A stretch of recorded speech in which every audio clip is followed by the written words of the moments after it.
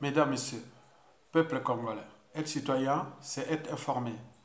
Et pourquoi? Parce que l'ignorance est la pire des souffrances. Le savoir et la connaissance vous libèrent. Pour info, le trader pétrolier congolais, Lucien Ebaka, en garde à vue à Paris. Il a été appréhendé dans la matinée du 6 octobre 2021 à l'aéroport du Bourget, en région parisienne, dans la banlieue est de Paris, en possession d'une importante somme d'argent en liquide. Source Africa Intelligence. Vous le savez bien qu'en France, hein, la législation euh, n'autorise pas de, se promener avec des sommes en liquide dépassant 10 000 euh, euros. Donc il faut les déclarer. Et si vous ne les déclarez pas, bon ben, là, on parle d'une importante somme d'argent. L'affaire est suivie par les services des douanes d'Ivry, sur Seine, dans le département de Val-de-Marne, toujours en région parisienne, en banlieue sud de Paris. Vous le savez que ce n'est pas pour la première fois. Hein. On l'avait déjà interpellé à l'aéroport Roissy-Charles de Gaulle euh, en 2012 avec une somme en liquide de 182 000 euros. Et donc, euh, il est habitué. Hein, donc, euh, d'ici bon, les services de la mafia de Yo vont mettre toute la pression pour qu'on les libère. Hein. Après, il rentre là-bas, il sera reçu triomphalement à, à Oyo. On est bien d'accord? Bon, mais il faut aussi se dire que c'est comme une épidémie, hein, parce qu'ils sont quelque part un peu traqués. Hein. Bon, souvenez-vous, je vous avais fait des vidéos sur l'affaire d'un dignitaire du régime qui avait planqué son magot au, au Liban. Il cherchait à aller le retirer. Les, les Libanais l'ont demandé de justifier l'origine de ces, de fonds. Il n'a pas, euh, jusqu'à présent, n'a pas euh, justifié l'origine de ces fonds. Donc ces fonds sont toujours euh, planqués au, au, Liban quand on ne veut même pas le, remettre. Et bon, ben, souvenez-vous de l'affaire la, de l'affaire sur la mort d'un autre dignitaire, Jean-Didier Longo, qui avait planqué son magot en République démocratique du Congo, à Kinshasa, où son compte a été dilapidé, donc vidé, donc, donc on a volé son argent, donc il n'avait plus rien. Souvenez-vous aussi de l'affaire du milliardaire du, régime, Jean-Jacques Bouillard des Grands Travaux, et qu'il voulait aller retirer son magon en, planqué en Chine.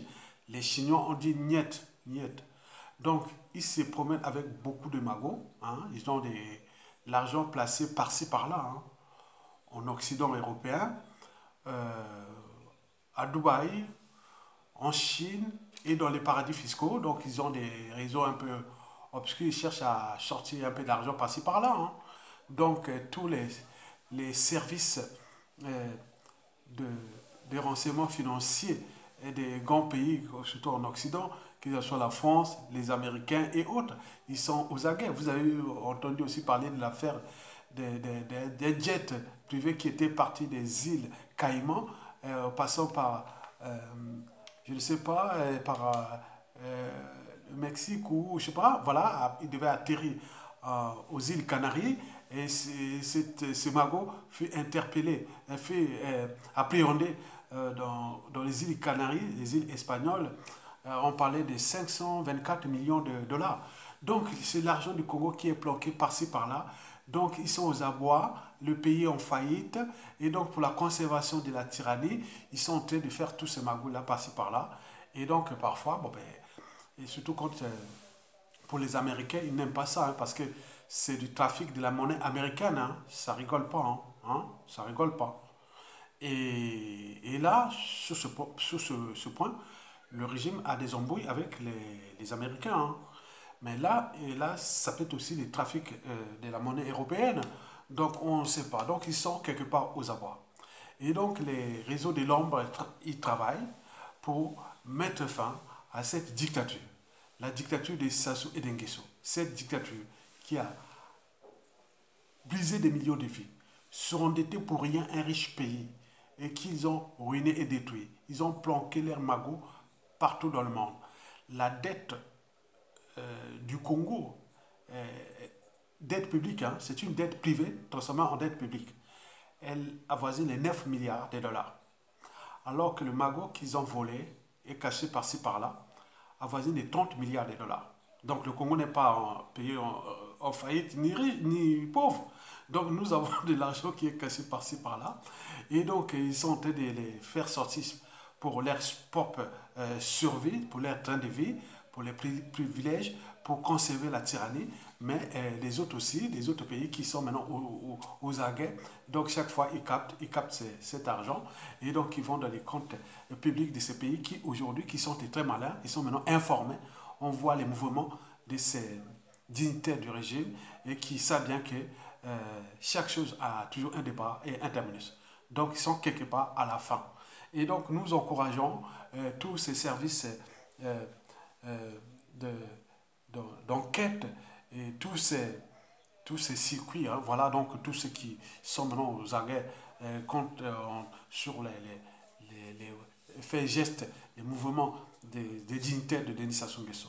Je vous l'ai dit que, par exemple, déjà en Occident européen ici, bon, euh, appartement, euh, pavillon et autres, c'est la caverne d'Ali Baba. Hein.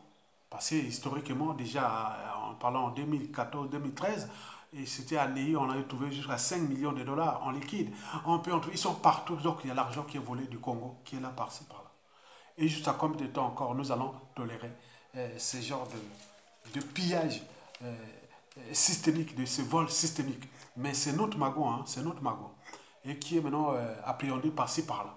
Donc la perte est totale pour le peuple congolais. Parce que l'argent là qui est, qui est appréhendé, bon, la plupart ne repart pas dans le trésor public congolais. Même si ça repart dans le trésor public congolais, ce sera comme les tonneaux d'Anaï. Donc voilà, donc, euh, euh, donc ça ne sert à rien. Donc les autres en profitent de, des mouvements financiers occultes du régime pour aussi pour euh, ces pays-là qui en bénéficient, hein, parce que là, euh, combien, de, combien de fois euh, ces pays ont, appréhendé ces magots-là. Donc, vous voyez, donc, le temps n'est plus à l'indignation, le temps n'est plus aux émotions, à l'appartenance, le temps n'est plus à la haine ni à la division. Le temps est venu d'agir collectivement pour mettre fin à l'hécatombe déjà de nos comptes publics et n'oublions pas de la condition humaine, sociale et voire existentielle.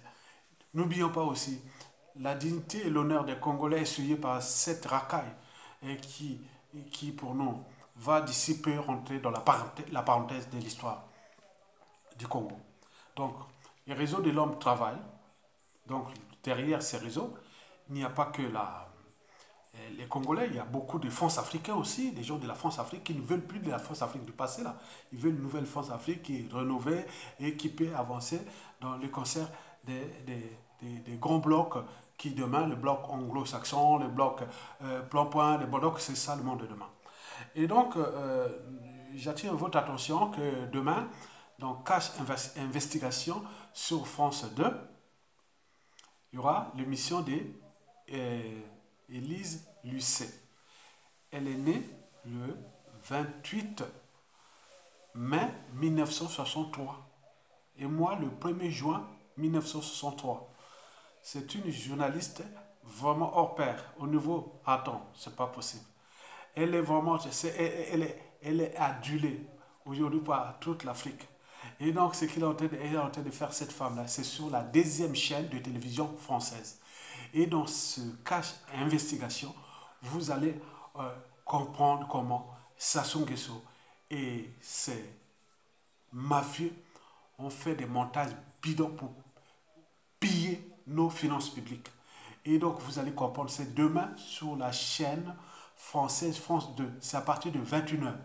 Et donc, euh, tous les Congolais partagent ça maintenant dans tous les médias et réseaux sociaux, depuis l'Europe jusqu'en Asie, en Australie, euh, dans le monde arabe, en Afrique, en Amérique du Nord, en Amérique latine, dans les Caraïbes, partout même au pays. Donc, tout le monde sera au, au, au, poste, fidèle au poste sur France 2 la deuxième scène de télévision française pour, euh, euh, pour clarifier, hein, pour euh, ouvrir les yeux aux Congolais, parce que l'ignorance est la pire des souffrances.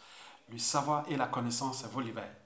Mesdames et messieurs, peuple congolais, je vous, je vous remercie. Tokolonga, Sassou Nguesso sont la fin. Le danger, c'est qu'il est en train aussi d'accélérer le programme ou le calendrier d'assassinat des, des, des, témoins gênants ou euh, des témoins de ces crimes multiformes. Donc, si ces gens-là, et leurs enfants et petits-enfants, ne prennent pas les responsabilités d'être ensemble avec le peuple et dans le processus qu'on les mette hors d'état de nuit, il y aura beaucoup de casses, il y a beaucoup de gens qui vont mourir, des hommes politiques, des officiers militaires, et des, des, politiciens. Et beaucoup vont mourir là parce qu'il est en train d'accélérer le processus d'assassinat. Parce qu'il sait bien que la fin est proche. Et dans son Dixit, il avait dit que je partirai, mais je ne laisserai jamais des témoins de mes crimes. Donc, protégeons tout le monde pour les besoins de l'histoire. Parce que demain, si nous voulons faire la commission vérité et réconciliation, il faudrait bien qu'il y ait quand même des témoins. Mais s'il a éliminé tous les témoins, comment nous allons gérer cette affaire-là? Donc, ça va rester euh, dans les contentieux historiques. Euh, euh, éternel. Non, non, c'est pas possible. Donc nous devons protéger aussi les témoins de ces crimes pour que demain, dans les cas de l'intérêt général, dans la commission vérité, réconciliation, réparation, ils vont donner euh, leur part de vérité. Et je voulais seulement en terminer là. Et bravo, bravo, euh, ceux qui font ce travail de l'homme, Tokolonga, vivement la fin de la dictature la plus féroce du continent noir de ce début du 21e siècle. Donc c'est un processus qui est déjà inévitable il va tomber, il doit tomber. Et nous le savions d'ailleurs. Tokolonga, à bientôt.